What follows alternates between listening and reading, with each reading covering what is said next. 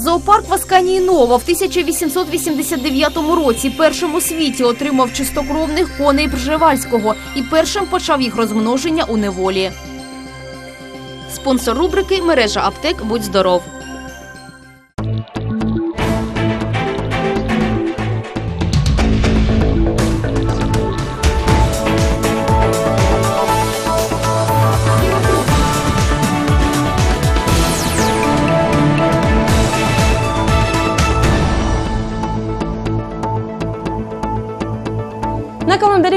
25 лютого. Журналісти вісти вже готові розповісти про останні події цього дня. В студії працює Юлія Шубіна. Вітаю. Сьогодні, нарешті, у суді з'явився головний фігурант по справі Мелітопольського злочинного угрупування мер Сергій Вальтер. Його судове засідання доставили приводом. Зараз цей сюжет готується до ефіру, і ви його побачите наприкінці програми. А зараз до інших новин. Як і попереджали комунальники, другий за останні декілька днів провал каналізаційного колектору стався на території гаражного кооперативу на вулиці Осипенка. Цього разу аварія була настільки масштабною, що спеціалісти водоканалу були змушені звернутись вже до прокуратури. Гаражі, які знаходяться прямо на колекторі, не лише заважають проведенню робіт, а й можуть просто піти під землю. Господарі об'єктів неохоче йдуть на контакт з комунальниками, які наполягають на тому, щоб гаражі були демонтовані у найкоротші строки. Ось таку картину ми побачили, коли приїхали на місце провалу. Яма діаметром у 6 метрів утворилась в результаті руйнування колектору. Добре кажуть спеціалісти комунального підприємства, що в момент обвалу нікого не було поруч. Працівники водоканалу обережно підходять до заповненої стоками ями, але щойно починають тривожити пошкоджену трубу, як земля знову обвалюється.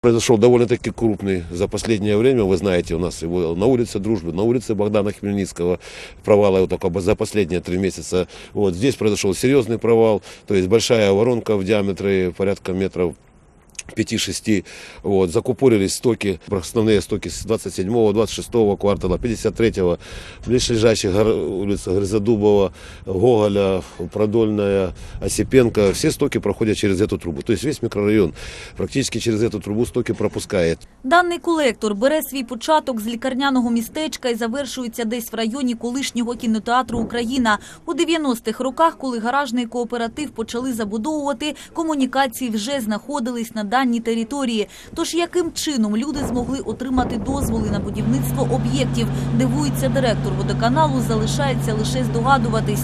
Тепер ситуація нагадує гру у російську рулетку. Ніхто не може гарантувати господарям гаражів, що рано чи пізно вони не обрушаться. Гаражі приблизились на порядка полтора-два метра от нашей линии. А мы понимаем прекрасно, что на глубине 6 метров, если мы будем э, перекладывать э, коллектор, а надо на- перекладывать, то призма обрушения это 12 метров. То есть 6 метров в одну сторону, 6 метров в другую с- э, сторону. Учитывая, что грунт насыпной, эта призма может составить и более чем 12 метров, может 14-16 метров. То есть э, легким подсчетом мы понимаем, что эти все гаражи не жильцы. Від оперативності проведення робіт залежать цілі мікрорайони. Зараз комунальники намагаються хоч якось зарадити проблемі. Мы сегодня уже написали, и вчера вручили председателю кооператива, э, включили начальнику МСС, МЧС города, э, в прокуратуру на- разослали письма с предупреждением и с просьбой э, немедленно демонтировать гаражи для возможности произведения работ. Потому что ситуация может выйти просто из-под контроля, когда мы будем топить балку э, или отключать воду, как положено по правилам. Мы должны отключить всем микрорайонам воду, чтобы не было стоков. Что дальше будет? Не знаю. Пока не знаю. Э, Мы пытаемся, буквально пытаемся пропустить стоки через поврежденный участок каким-то размытием, какими-то чудесами, образно говоря, чтобы хотя бы оттянуть и дать возможность людям разобрать свои гаражи. Другого пути я ну, просто не, не вижу. Господарі гаражів розбирати своє майно не бажають. Не лякає їх ані загроза самостійного руйнування об'єктів, які можуть обвалитися із ними всередині, ані екологічна катастрофа, яка може виникнути в результаті вимушеної бездіяльності комунальників. Директор водоканалу сподівається, що вирішити ситуацію допоможуть керівництво міста, правоохоронні органи та інші відповідні інстанції, до яких направлені листи. Після того, як сніг розтанув, додалося роботи мелітопольським прибиральникам. Вони повним ходом зараз розчищають міські дороги та тротуари від посипальної суміші, а також наводять лад в скверах та парках. Працівники комунального підприємства Чистота приступили до роботи вже 24 лютого. Цього дня вони працювали у парку залізничників. Чому саме почали з парку? Да тому, що мусор з нього летить прямісінько на привокзальну площу. А це, що не кажіть, обличчя міста. Так рано комунальники стали до прибирання, щоб до приходу теплих днів встигнути зробити Мелітополь чистим. Територію парку залізничників від сміття комунальне підприємство «Чистота» приводить до ладу два рази на тиждень. За словами начальника виробничої ділянки Раїси Князевої, після того, як вони приберуть залишки опалого листя, буде легше чистити ділянку від сміття. Начали, потому что эм, листва, здесь э, в снегу было очень много мусора. Это все летит на площадь э, привокзальную. Поэтому решили собраться, убрать э, здесь вот начать. За словами начальника виробничої ділянки Раїси Князевої, це тільки початок грандіозного прибирання. 24 лютого привели до ладу увесь парк залізничників. Вже сьогодні, 25-го, комунальники прибирали опале листя з скверу, що на перехресті вулиці Бривла-Гаярд та проспекту 50 років перемоги. Головне завдання на сьогоднішній день, що стоїть перед комунальним підприємством, це розчистити дороги та тротуари від посипальної суміші. Мы сначала постарались вымести плитку, э, потому что портится плитка от этого посыпочного материала. А Сейчас э, выметаем тротуары. Но за один раз оно не выметается так, как оно просело между плитками. А Поэтому мы стараемся вымести этот отсев.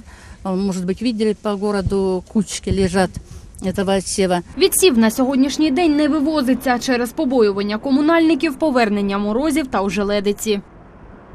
У лютому городянина порушували закон на більше однієї тисячі 300 гривень. 25 лютого мешканці-порушники були запрошені на адмінкомісію, яку провів заступник міського голови Костянтин Горбачов. На засідання більшість мелітопольців не з'явилася, тому членам комісії довелося розглядати справи без них. Докладніше в наступному сюжеті. 510 гривень – мінімальний штраф. До речі, за це правопорушення доведеться сплатити співробітниці одного із місцевих кафе за продаж дитині спиртного. На гарячому її підловили правоохоронці, які склали адміністративний протокол. На комісію порушниця завітала не одна, а з підтримкою. Виправдовував проступок дівчини, особисто власник даного закладу. Мы просим учесть тот факт, что девчина только закончила училище.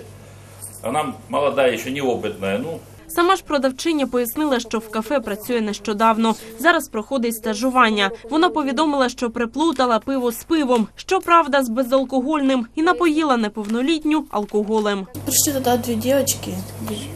и Я, ну, заказали чебурек. Там у нас просто в баре подается пиво алкогольное и безалкогольное.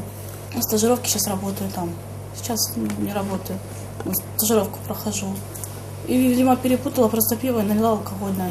Члени адмінкомісії повідомили, що за продаж неповнолітньому спиртного попередження в законі не передбачено. Тому дівчині таки доведеться сплатити штраф, хоча й мінімальний. Заступник міського голови Костянтин Горбачов нагадав працівниці, що якщо виникають сумніви з приводу віку відвідувачів, краще пересвідчитися і попросити посвідчення особи. Усне попередження винесла адмінкомісія непрацюючій пенсіонерці. Жінка з візка прямо на тротуарі продавала каву. Хоча за це порушення штрафні санкції передбачають від 340 до 1700 гривень. Члени адмінкомісії лояльно поставились до жительки і на перший раз вирішили її не штрафувати. Також їй порадили перейти торгувати на ринок, де є вільні місця. Ще два попередження винесли людям похилого віку, які для встановлення газової плити залучали не фахівців газового господарства. На близько 800 гривень спорожніє гаманець власника кафе «Едем», яке знаходиться на вулиці Шмітта. Рекламний стенд вони прибили на цвяхи до дерева, чим і порушили законодавство. 23 лютого представники міської влади вітали героїв з Днем захисників вітчизни. Секретар міської ради, виконуючий обов'язки міського голови Андрій Чапа, привітав зі святом членів ради ветеранів Мелітополя та почесного громадянина нашого міста Миколу Лобачова. До речі, через кілька днів він відзначить свій 91-й день народження. У день захисника вітчизни представники влади та громадських ветеранських організацій поклали квіти до меморіалу Братське кладовище та вшанували хвилину мовчання пам'ять загиблих. Секретар міської ради, виконуючий обов'язки міського голови Андрій Чапа, привітав всіх чоловіків, які захищали, захищають і будуть захищати нашу батьківщину. А потім всі присутні вирушили до почесного громадянина Мелітополя Миколи Лобачова. 27 лютого він відзначить свій 91-й день народження. Завдяки таким хоробрим і мужнім патріотам своєї країни, як Микола Георгійович, живе і процвітає слов'янський народ. Андрій Федорович від імені міськвиконкому побажав герою радянського союзу міцного здоров'я, благополуччя і мирного неба над головою. І пообіцяв, що навіть зараз, коли Україна в складній ситуації, у Мелітополі все буде спокійно. от своего поколения, от своих детей и внуков поблагодарить вам и низкий поклон вам за то, что вы нам обеспечили сегодняшний день, Николай Иванович, за ваше мужество проявленное при защите нашего Отечества. Мы равняемся на вас. Вы наш, наш образец, вы наш жизненный ориентир для нас, для молодежи. Спасибо вам большое. Людям, які пройшли війну, завжди складно стримувати сльози в такі дні. Для них це особливі спогади і переживання. У кожного свої. Це не просто чоловічий день, як прийнято називати його зараз. Це день захисників нашої батьківщини. Саме такими є всі ветерани. Вони вдячні, що про них не забувають і завжди радіють теплим словам на їх адресу. Доказом цього є рада ветеранів нашого міста. Тут на свято зібралися бойові товариші, щоб згадати всі моменти радості та смутку, які залишаться у їх серцях назавжди. Зі вчорашнього дня розпочався тиждень масляної. З давніх часів на свято готували млинці та славили прихід весни. Люди вірили, що разом з млинцями утримують трохи сонячного тепла і сили. А студенти Таврійського університету факультету агротехнології та екології сподіваються, що в таке свято зможуть допомогти Юлії Гербері. Сьогодні вони організували благодійну акцію для збору коштів дівчині. Лікарі поставили їй діагноз рак кістки та необхідне дороге лікування. Як пройшла акція і скільки грошей вдалося зібрати, далі в сюжеті. Весь цей час Юлія була дуже активною і веселою дівчиною. Встигала скрізь і в університеті, і в танцювальному ансамблі. Але в жовтні минулого року в будинок сім'ї прийшла біда. На тлі повного благополуччя у дівчини з'явилися болі в нозі. Місцеві лікарі встановили надрив сухожилля та запевнили, що через 2-3 місяці все буде в порядку. Але буквально через два тижні болі посилилися, і сім'я звернулася вже в обласну лікарню. Там дівчині поставили страшний діагноз рак кістки. Родина вже витратила близько 30 тисяч гривень на лікування і більше коштів немає. А для подальшої терапії необхідно набагато більша сума. Дізнавшись про захворювання Юлії, відгукнутися на допомогу вирішили студенти дату. На честь святкування масляної агрономи разом зі своїм куратором приготували млинці та організували благодійну акцію прямо в університеті. Сьогодні у нас в університеті на факультеті агротехнології та екології відбувається благодійна акція в рамках свята Масляна. Мы призываем всех студентов института э, ДГАТУ продолжить наш благотворительный марафон по сбору средств. Также мы просим быть неравнодушными всех жителей Мелитополя. Всі бажаючі могли зробити внесок в одужання Юлії та скуштувати смачне частування. Завдяки небайдужим людям за один день вдалося зібрати близько 2,5 тисяч гривень. Попереду у дівчини ще тривалий період лікування та необхідно багато коштів.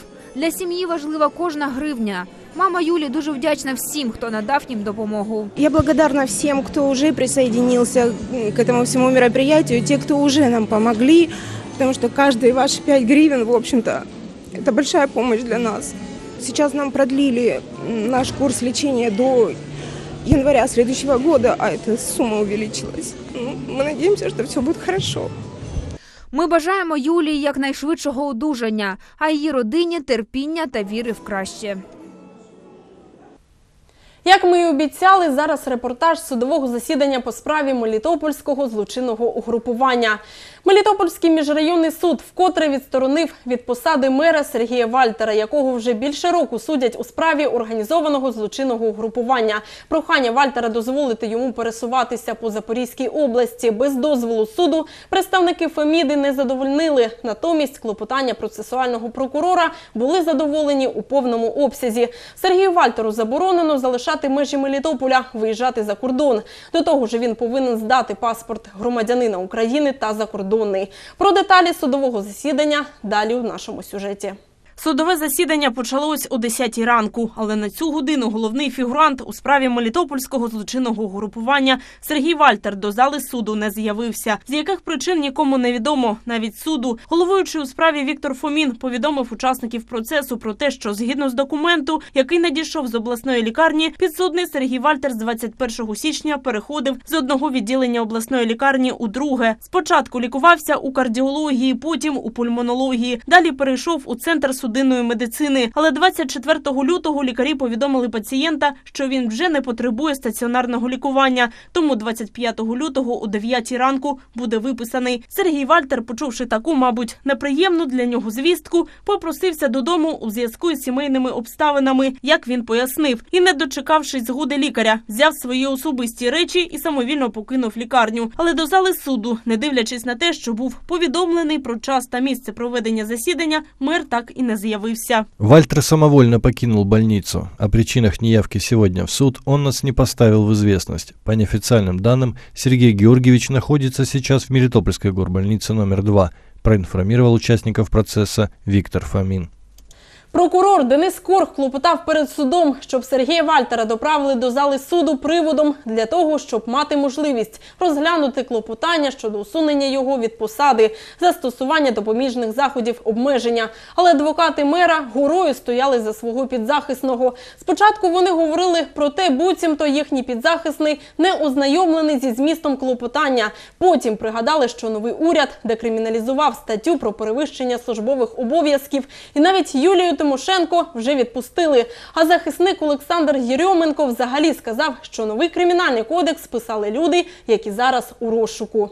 Але такі доводи ніяк не вплинули на рішення суддів. Віктор Фомін зазначив, що Сергія Вальтера судять за цілою низкою серйозних статей, зокрема хабар у особливо великому розмірі, відмивання грошей, використання підробного диплома про вищу освіту та інші. Щодо кримінального кодексу, то його новий уряд не відміняв. Тому суд працює саме по цьому документу. Отже, колегія суддів прийняла рішення доставити Сергія Вальтера у зал суду приводом.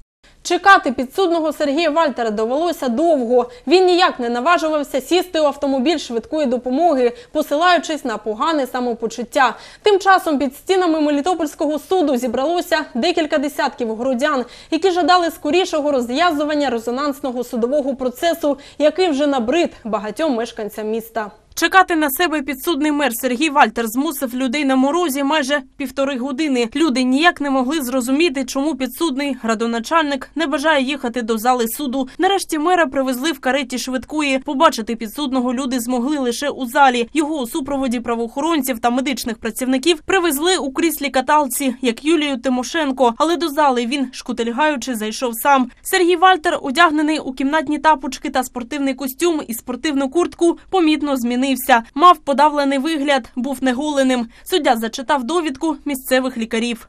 Сергей Вальтер поступил в неврологическое отделение горбольницы номер 2 по скорой с диагнозом гипертоническая болезнь, артериальное давление 160 на 100, состояние здоровья ближе к средней степени тяжести, но стабильное. В заседаниях суда участвовать может. С довідками с лекарни номер 2.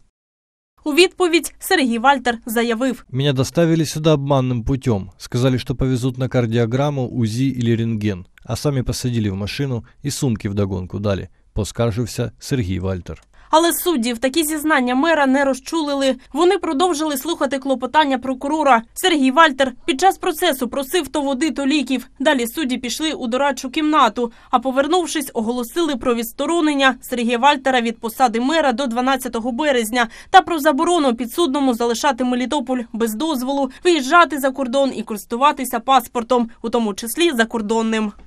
Далі Денис Корг звернувся до суду з черговим клопотанням про подовження терміну відсторонення від посади міського голови до 12 травня, а запобіжних заходів до 5 травня. Прокурор наполягав на розгляді цього клопотання сьогодні, але захисники мера і сам підсудний Вальтер були проти. Більше всього обурювався Сергій Коломієць. Суд нарушает права каждого здесь присутствующего участника процесса. Мы имеем право на обед. Вы оставили нас без обеда. Мой подзащитный в летних тапочках уже полтора часа сидит. Это так мы его лечим? Мы будем издеваться? Может, как Беркут раздевал? Так давайте его босым посадим.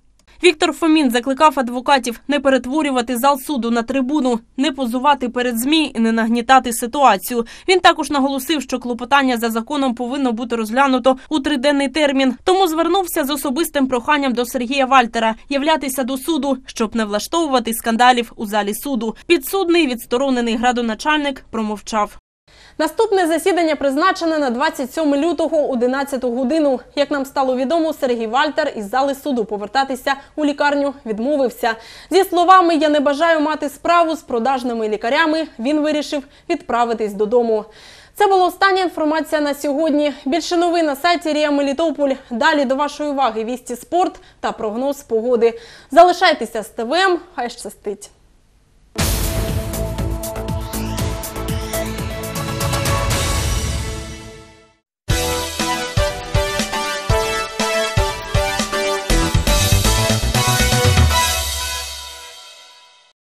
Партнер программы «Вести спорт» – Роллер Центр. От имени Управления молодежи и спорта я хочу сегодня поприветствовать всех участников турнира и искренне поблагодарить наших гостей, которые, несмотря на сложную сейчас обстановку, все-таки приехали к нам и позволили продолжить эту хорошую традицию проведения турнира «Хрустальный мяч». Конечно, в турнире будет выявлен победитель, будет выявлен сильнейший.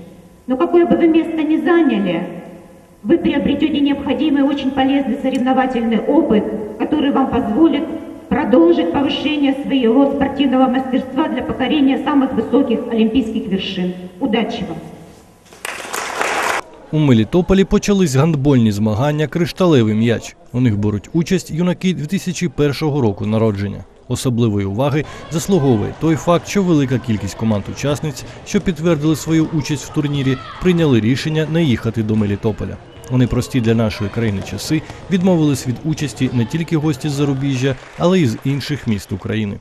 Не дивлячись на це, Росія на турнірі представлена Воронежем та Волгоградом. И в связи с тем, что у вас очень хорошие команды сюда приезжают, нам, сказал, на са- нам сказали на самом деле, что приедут практически все команды. А Вот. Ну, мы сильно так не верили новостям. Мы позвонили, узнали, нам сказали, что здесь все благополучно. Поэтому как бы мы сели и поехали. что мы, люди, мы все христиане, вот наш 13 человек, никто не отказался, мы все приехали сюда играть. Дети, вот, посмотрите, покажите, и все, людям. Дети, они, это святое. Спорт – посол мира. Юні гандболісти та їх тренери з Іванівки, Орехова, Томаковки та Запоріжжя також приймають участь у кришталевому м'ячі 2014. Мелітопольці на змаганнях представлені кількома командами: вихованцями Оксани Сердюк, Олександра та Лілії Стеценко, Руслана Ібрагімова. Ці змагання проходять за підтримки місцевого управління молоді та спорту, а також Ігора Очередько, одного з засновників турніру, що проходить цієї зими вже в 11 раз.